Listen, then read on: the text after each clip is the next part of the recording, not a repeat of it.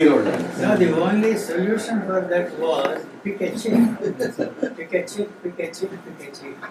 You see, this, this is the most uh, famous movie that uh, Mahesh Bhatt made. I happened to be in Bombay when my son, 32 year old son, was dying of cancer. And he had for you, I took him to America and spent $80,000 to put him on his feet.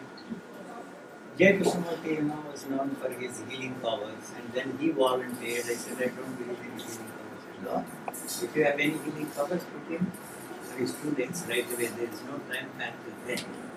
Because we hear the stories the rishis, when they said something, it happened immediately. He walked on water. Luckily for him and unluckily for mankind, the water happened to be only ankle deep.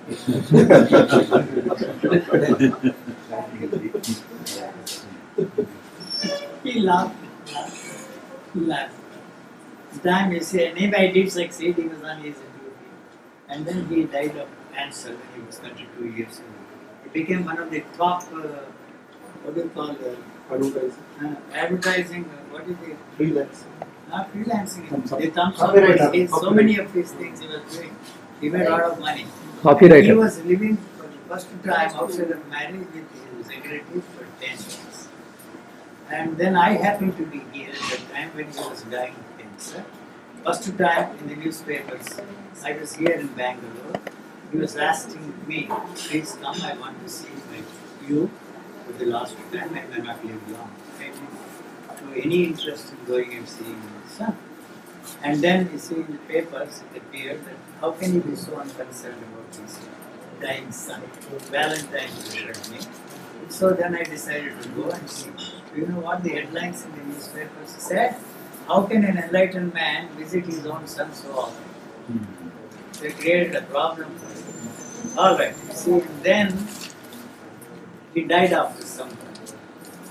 And I happened to be there, so because uh, the girl he was living with was not married to him, I had to sign all the papers and then also take him there to the place, signed all the papers. And the next day, you see the enlightened man doing all these things. It was their problem. Now, that was the only thing. And she was carrying the, the ashes. And the way I treated that, you see, it surprised everybody, the hospital people and Mahesh. And her father came and uh, he wanted to comfort me, console me. And he asked me a question, how can your son die, sir? He thought that I am a spiritual man that I would him. Or some says, Why not my son? Why should somebody else's son? So that was the thing he made a famous movie. So it, it, it won international awards also my age. So we were returning from that place and she was carrying the ash and I, she was crying. I asked her, don't you let me forget the master is now reduced to ashes. He used to pick a gun. Ten minutes after he was reduced to ashes, I told that girl, and I thought she would get up and throw all the ashes on my head or some such thing, and everybody was frightened. That was the only realistic uh, advice I can give. See, if you remember all those things for the rest of your life, what damage it will do to your body, you don't know why they are now interested in celebrating the anniversary of 9th and 11th of September, all the death anniversaries of those people.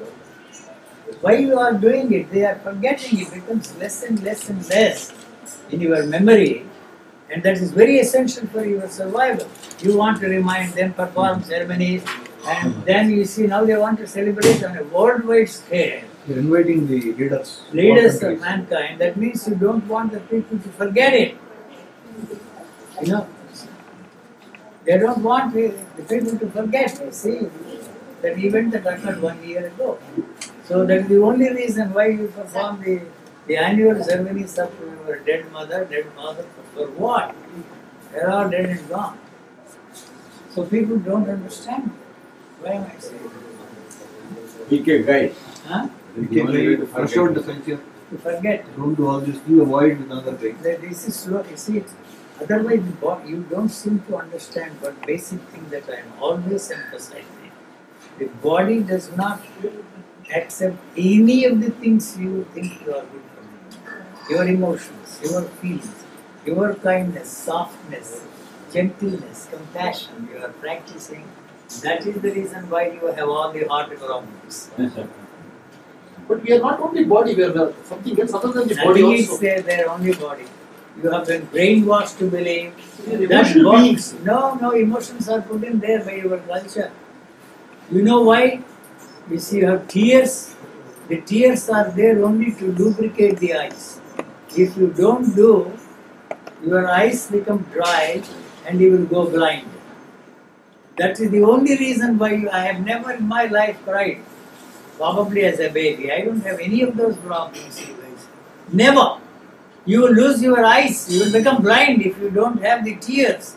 Even if it is divine love, that is rejected by the body. Body is not interested in anything they say and you accept is good for the body. You have never, I tell the people, you have never meditated very seriously. If you have meditated very seriously, either you will go mad and end up in the mental hospital singing very melodies and looney tunes or commit suicide. And then you call that jealous among How many spiritual teachers who seriously did all those things? Even Ramatirtha, who wrote those books, seven volumes, he committed suicide. Even Vinoba also. All of So them, the- Shankaracharya, there, the, the, the one before the, the two. Huh? Chandrasekhar Bhatt. Chandrasekhar Bharati committed suicide because they were. He, he was, see, I met I met the Shankaracharya sir and a common friend of Abhinav Vidyatirtha. Abhinav Abhinav Vidyatirtha I'm talking about. Very cunning, clever, crafty bastard. I'm sorry, you see. Very sorry. I have the greatest admiration for the institution of sannyas. It's something extraordinary. Why, But- why? There must be something there. No, nothing in the spiritual sense. But why is that institution? It is why you see, that's what I told the, the, the, the son of that gentleman also. Don't live double life. Straightforward. Straightforward. You see, if you can't give up sannyas, but you are going to be miserable in this world also because you spent 19 years of your life as a sannyasi. And how can you live the life you and I are living? It is just not possible. They will be miserable there, they will be miserable here. But if the institution is not doing anything, why the institution is there? Why not- you want- Why you respect that institution? Not respecting, don't touch that institution at all, either destroy or uh, uh, com- continue that institution. Just leave it there. Whoever wants to follow that to the. That, that is their affair. What have you to do? Some- Something must be there. No, sir, nothing must be there. I am telling you You one thing. I am telling you one thing. If you are finished with God, you have no reason to free anybody from their belief in God. That is what the atheists are doing. They are still related to God. If you are for any reason freed from God, you will neither want people to believe in God, nor will you do anything to see that the people are freed from their belief in God. Never.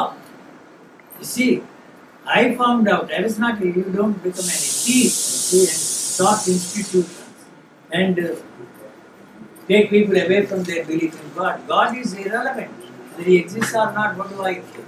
I don't need. I never entered a temple ever since I was seven years old. Sir, You know? So what I'm saying is that don't touch, destroy those institutions, whether there is anything to it or not. That is why I'm blaming Buddha.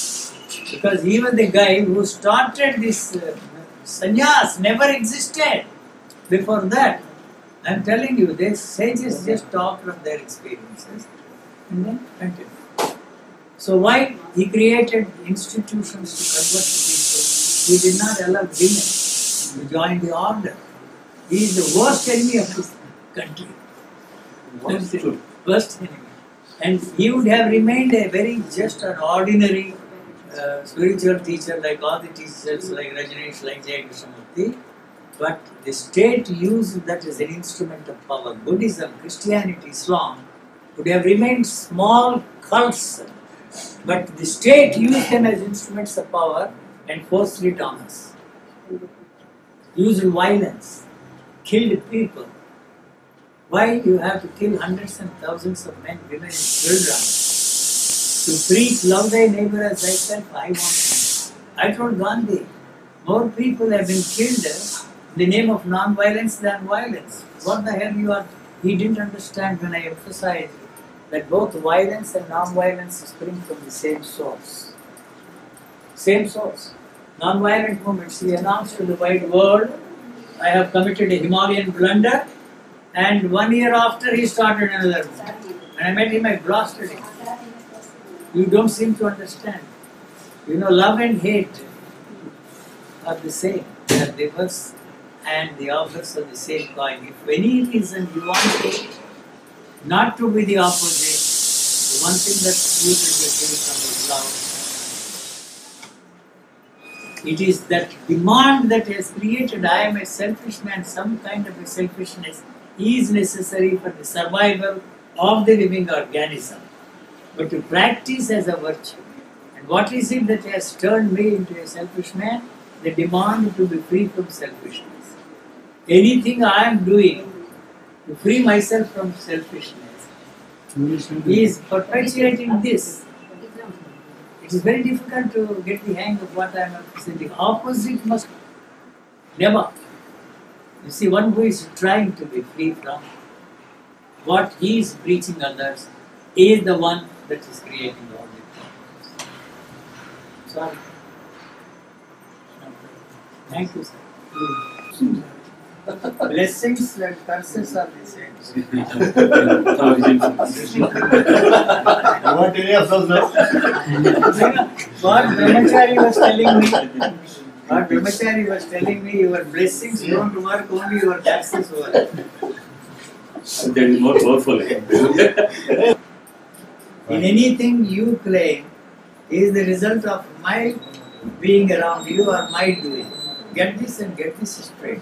But without knowingly something happens. What Nothing will responsible for. It happens. What You translate that and put it in the framework of your knowledge. In I am context- telling you. In your context, Sir, this is this was my problem as a boy. I'm going to curse I experienced everything, want me even Turiya state, Turiya Atita state. Please don't do that. Buddy, these are all self-created experiences. You have read the descriptions, how they described the non-existent state that they were living in. Use your thought, and you are experiencing the thought-induced state. Rejected you, unconditioned yourself from whatever you are trying to free yourself from is perpetuating. Any movement in any direction But these two are bringing a lot of uh, bondage, violence, uh, contradiction. Wanting to be free from the bondage is perpetuating the bondage. I'm telling you. Anything you do, Ah, No, you mean remain in the bondage. huh? ah. Remain in the bondage. anything you are doing to free yourself from non-existing bondage, Non-existing bondage. the demand to be free from something that does not exist. Original. I am telling you, Western greed exists. huh? Western You created. exists. That is creating bondage and violence the demand to be free from bondage is the one that has created that bondage. So he gave a Nobel Prize and he created the nuclear weapons and created a, a- it's something for us which will be a nuclear holocaust. This you have seen, sir? The Hindu UG, the Times of India. It is only Yes, the dead yes. structure that is moving there. And we have tremendous faith in those bonds. Huh? What are you talking about? How is it possible? So it's there no need to find out what is So there. what our knowledge says is should be because of a man and woman there's going to be a baby. You said. This is No. knowledge, no? No, they don't think that. The mark, the feeling you are talking about is different from the feeling that the thymus gland experiences. It is not emotional, it is not any feeling good, feeling affection, feeling love, it is not anything. I have to use that word, you are moving like this. Where is that movement? If you fall like this, I don't tell myself that I am falling the way you are falling there. You trip over and fall. That is uh, anything you say, where is it happening? Is that happening there or is it? I don't. You know. tell myself all the time. I am using all these words to give you a hang about how this is responding. There is only response. The response is one unitary movement. It is not in the Vedantic sense that I am talking about the unitary movement. This cannot be separated. You see, the sense of touch. Only sensory activity is all that is there. Nothing, that's all. So this is uh, the sense of touch from he, from this. I am not saying that this is one or the oneness in the sense in which you guys talk about all that Vedanta. Nothing. Only when you say that this is hard, huh, and the hardness is experienced by this sense of touch. So, what is it that creates this hardness?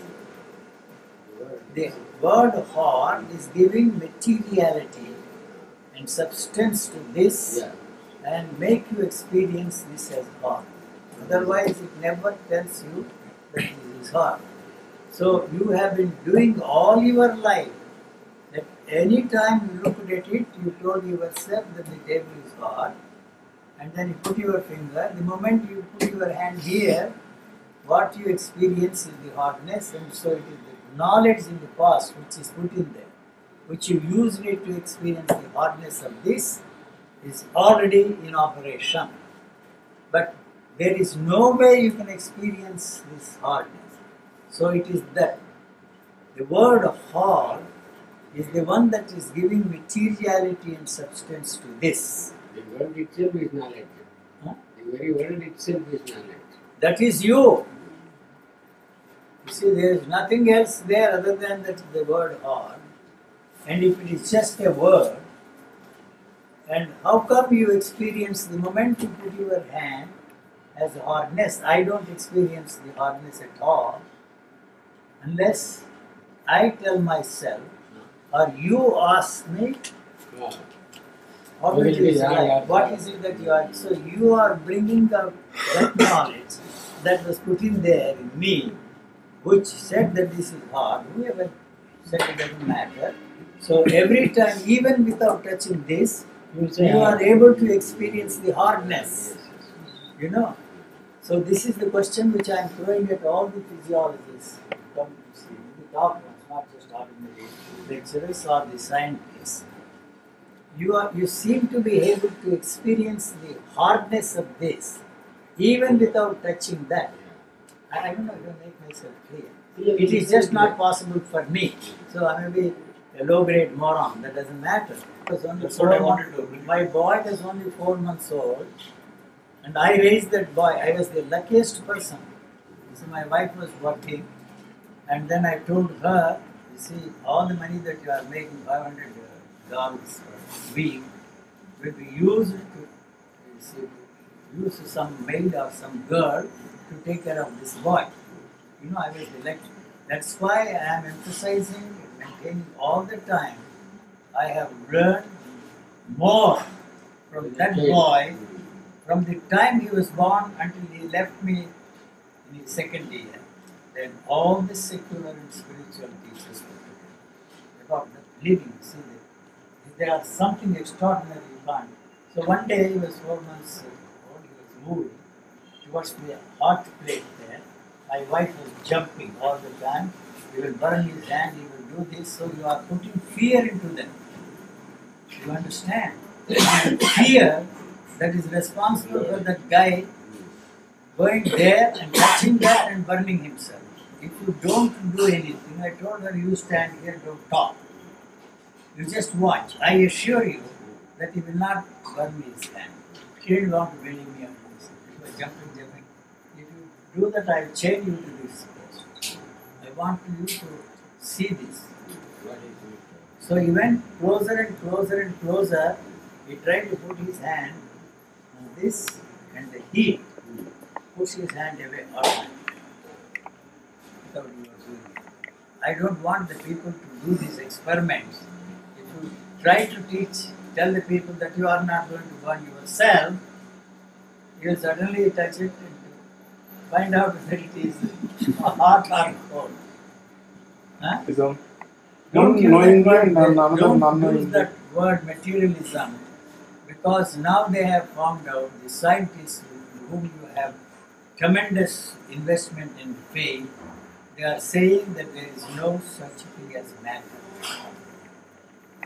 More different from the bacteria, billions and billions of bacteria that are there on this. You are made to believe that you are a human being, that you are born for some nobler and grander purpose than all the other forms of life. Everything that is there in this world is created for you. You don't seem to understand that you are misery for millions and millions of living. I am not saying that you should or should not. When you breathe, you are killing millions and millions of bacteria. When you open your mouth, they are there inside. The fauna and the flora inside of your body. They all depend upon one form of life lives on another form of life. It, the survival of this body depends upon the survival of the 32 billion bacteria that you have on this body, which your physical eye cannot see. Huh? Depend upon this, and your survival also depends upon this. So human being also depends. Human being- Your survival depends on me. My survival depends on you. Yes, but not the way you translated and created the whole social structure. Symbiosis. No. Huh? Symbiosis. Symbiosis. So, in exactly the same way, you can go to a laboratory and do some experiments to find out if what I am saying is there any, it makes any sense. You see, the, response to the stimulus and the response is one unitary movement. You understand? So, you can go and uh, to the laboratory and all those people not ready to accept this and think that what I am saying is not acceptable. All right, let us go and perform these experiments there. But you have to create the space between the two, the sense of touch and the sense of response to that touch. In this world, uh, exactly the same way. But we are unfortunately in between. We are neither same nor in between. Then, Right. then, We are in between. please, then what is harmony, sir? Harmony is uh, already there. The harmony is told Not by, that, sir. no, no, listen to me. That you and your girlie, or the girlie is uh, daddy boy, must live in harmony. Those bastards are telling us, defining what is harmony. The harmonious way of living they talked about, described, and bragged about is the one that has created disharmony in my relationship with the people around me. You understand? So that makes it difficult for me to look at exactly the way this relationship is. You understand? So the idea that it should be a very harmonious living Yeah. is the one that has created disharmony. Otherwise, that is going to be tomorrow and the day after, or 10 years, and if you believe in reincarnation, that will be your next life. But why you are not looking at this exactly the way it is? There is no disharmony there. Their idea that there should be a harmonious living is the one that has created the opposite. So why should we live in harmony? What for? Listen for a moment. But they are forcing us to live a harmonious life. Huh? All that you are doing is to try to create this. that they have created disharmony. That's the one that is telling me Yeah. that you should be in a, so, huh? that you should be a selfless man and you are a selfish guy and the demand to be a selfless man is the one that has created the selfish man and perpetuating the selfishness because it is not possible for you to free from yourself from what you call selfishness and there is no need to separate yourself from selfishness because there is no such thing as selfishness there. It is those jokers are telling you that you must be a selfless man, that you must free yourself from all selfishness. We are not dealing with the right things. What they want us to do Yeah. is the one that has created all the problems.